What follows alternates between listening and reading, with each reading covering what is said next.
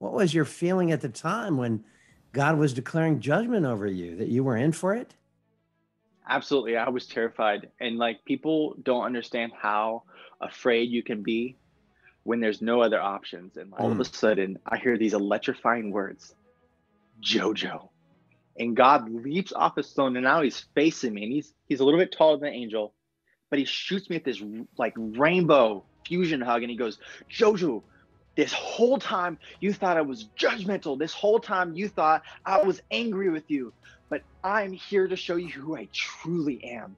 And he just started ministering to me and gave me this huge hug and blasted all of what was on from the bitterness, the hate, the feelings of regret, the feelings of lying, cheating, all that stuff I had felt growing up, just started watching it disappear. He, he I could see all the pain from my bedwetting, the, the huge mountains of shame that I carried as, as a teenager, being the only man that was wetting his bed into his like 19 and 20 year old years.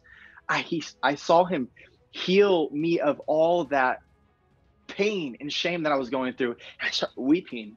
And I'm realizing that God is not this judgmental God that I've known this whole time. He's a God of love. He's wanting to have a personal relationship with me. And I'm weeping.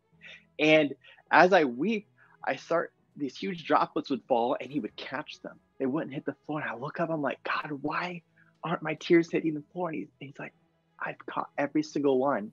And in Psalms, it says he's caught every single one of our tears and put them in a bottle. He says that today. I believe is David.